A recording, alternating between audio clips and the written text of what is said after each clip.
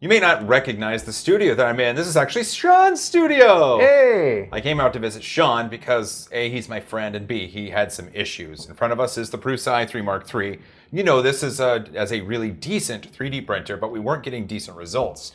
Not even a little bit, unfortunately. But we are now. That's what's on the build plate. What Sean and I are going to do is tell you about the troubleshooting that we went through to find out what was wrong with the machine, how we fixed it, and how we went from a terrible print to what you see on the build plate. And we're going to do it right here. On 3D Printing Nerd.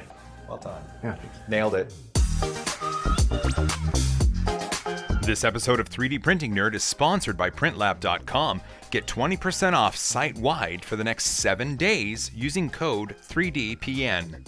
When I was in Seattle, Sean actually texted me. He said, I'm having an issue with my Prusa machine. It's never really printed well that I can remember. Here's an example of what's going on, and he showed me this. This is a Bob-omb. It is done by ChaosCoreTech, That's actually. right. You can find it on Thingiverse. Um, it's really easy to print, flat bottom, no supports, pretty awesome. However, just nothing but, what would you even call that on the front here? I would say extrusion issues. it just looks like someone just, just scratched it all up in the front, basically. Right. And my guess was he was having an issue with the nozzle because the model itself, it looked like butt up front, but in the back, it looked fine. Yeah. And my, my initial indication was that an irregular extrusion or uh, an out of shape orifice on the nozzle was probably the cause of this. Right. So just to verify, I said, Sean, why don't you print this again, but why don't you rotate the model 180 degrees on Z or Z? So I did. And The exact same thing happened, however, this time on the back.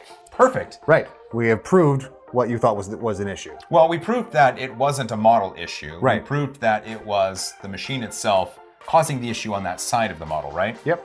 You know, of course, I've felt pretty doom and gloom. I've had a lot of issues with it, right? Doom so, gloom, yeah, yeah. yeah, So I was just, oh gosh, you know what? What else can go wrong with my printers? Because I'm just having some bad luck. But Well, at see- this point, I actually came to visit you. yeah, I showed yeah, up. Right. At this point, we had already made it. We made uh, the, the decision to have you come to Michigan, which was Right. great. We had a meetup. It was fun. It was a lot of fun. And when we got home, you were just like, we need to fix this. That's right. Yeah, it was one o'clock in the morning, and we were fixing the machine. And one of the things I wanted to do was print something that was known good, a known good G code. So Right. on the 3D printer SD card, there's a Prusa bottle opener.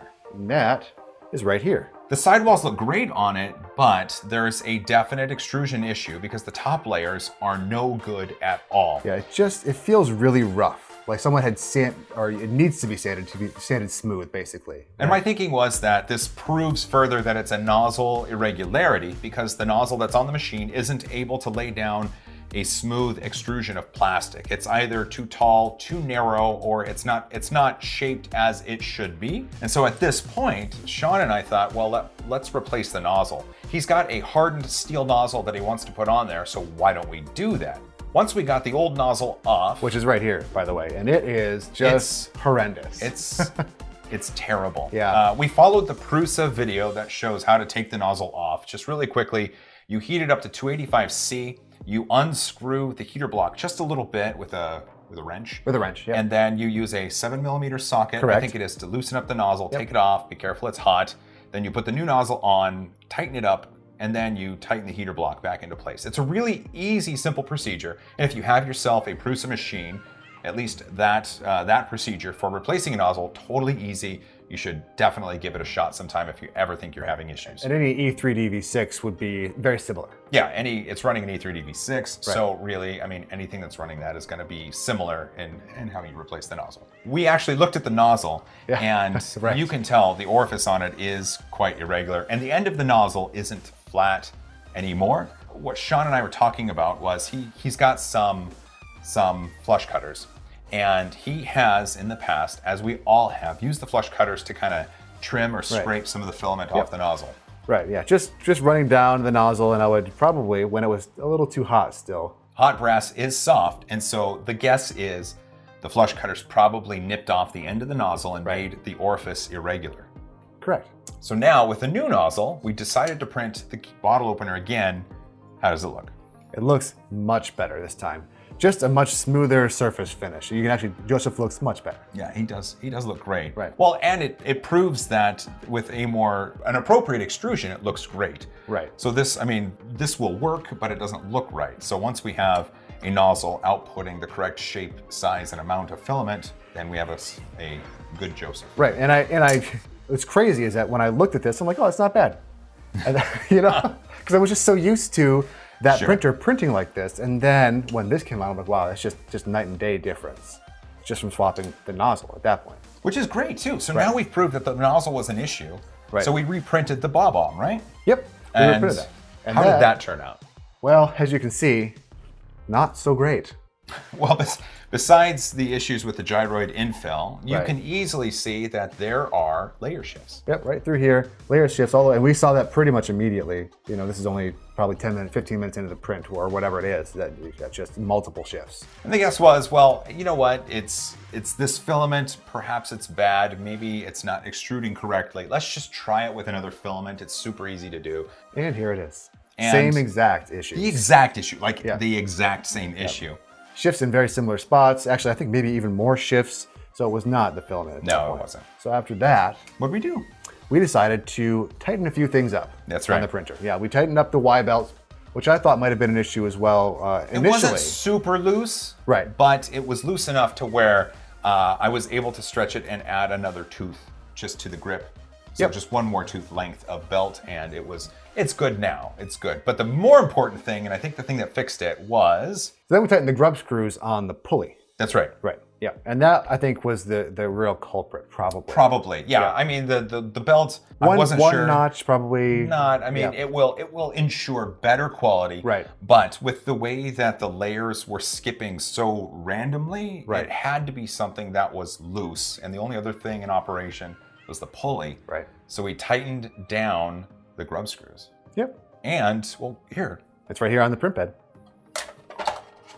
Oh, it just popped right up. it popped right up. Well, that's that is fantastic. Doo-doo-doo. Right. And How does it look? Beautiful. I think we did a really good job with troubleshooting because I think the bob omb here looks fantastic.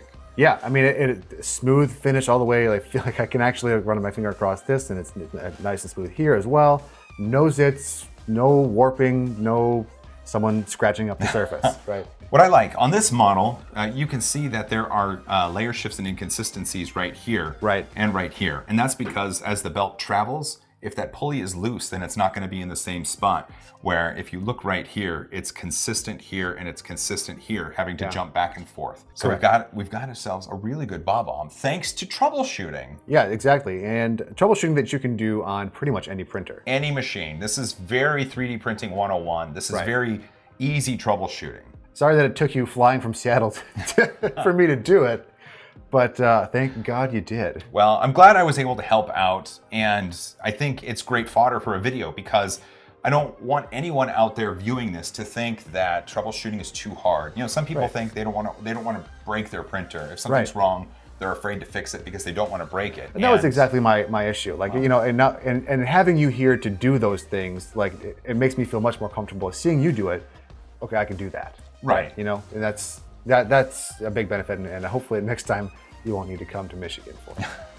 So as a follow-up, uh, let's talk about a few things. One, it's very simple to replace the nozzle on an E E3D V6, Right. and we showed that. We referenced the Prusa video that they put out Right. because it's very simple steps, and we just wanted to make sure we were doing exactly what they recommended. But Yeah. that's going to be the same for any E E3D V6 system. Mm-hmm. And if you want to upgrade to a hardened steel nozzle, or a plated nozzle, or a ruby nozzle, then it's it's really just a couple minutes as long as you have the right tools. It was. Uh, We'll put a link to the nozzle and everything we talk about down in the description if you if you need to have yourself a shopping list. Correct.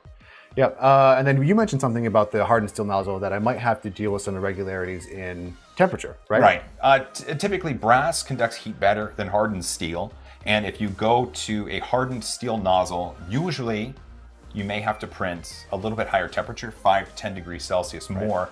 Also, hardened steel is going to have PLA stick to it a little bit more than brass. Oh. So you do have the the problem sometimes of filaments sticking to the nozzle a little bit more. Gotcha. But but leading into our next thing, having the proper tools is really going to take care of that. So we have ourselves one Filament Friday toolkit. Chuck Hellebuyck, you know him.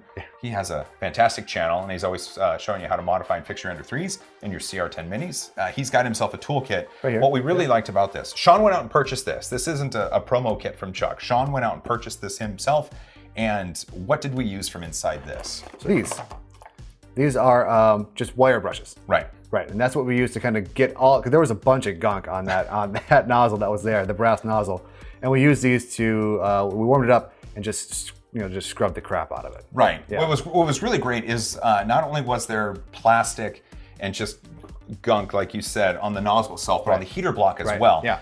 And these are great for removing that. So you can heat it up a bit, you scrape it. You just have to be careful of your heater core and your thermistor wires, but those are easy to watch out for, just like when changing a nozzle.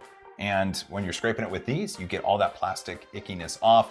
And it's just a good maintenance routine for your printer. You don't have to buy a Filament Friday toolkit to get wire brushes because Absolutely those are available everywhere. But there's lots of other cool stuff in there. And since Sean doesn't have a lot of tools himself, it's a really handy kit to have. Absolutely. Uh, lots of cool stuff. Calipers, uh, like I said, flush cutters, glue stick, a cutting board, uh, razor blades, uh, a little bag to carry everything in. There's, there's just there's there's a ton of stuff in here, and it's great. But beyond that, if you get yourself a 3D printer, a lot of times they come with tools that are used for changing the nozzle or fixing the printer or tightening, you know, bolts or screws or anything. So Correct. along with separate tools that you can get, don't forget to keep the tools and the accessories that come with your 3D printer. The Prusa machine comes with needle nose pliers, screwdrivers, hex keys, and uh, gummy bears. Yeah. Those are long gone, obviously. Yeah, but not- everything that I just found. mentioned is really going to help in maintaining your machine. Yeah, extra And- screws too as well. Right, a giant bag of spare parts. Right. It's really handy. Yes, exactly. I kept them in the the uh, PLA box that he sent me, just for easy. I know Chuck's comes with a bag, but really keep it in the box. Yeah. So now that Sean has a well-functioning Mark III, Yeah. I want to uh, hear in the comments what you think he should print on that next, because Sean is due to create a really cool 3D printing video for the channel. And if he could get some good suggestions as to what to print on this machine, leave it down in the comments below. Um, Yeah. People can vote. You know what? If someone's already suggested something that you think is cool, give it a thumbs up. Obviously, I get to pick at my discretion and at Sean's discretion, but just recommend some really cool stuff. We'd love to see what you say. I'm excited for that. Actually, I'd love to print something like that. That'd be awesome. Well, uh, we've we've identified the issues. Yes. We kind of showed them how to troubleshoot, and we gave them some good advice. I agree, and I think, like I said, we, this can help lots of people for all sorts of printers, and I think that was the purpose, like why we decided that we should probably do this video.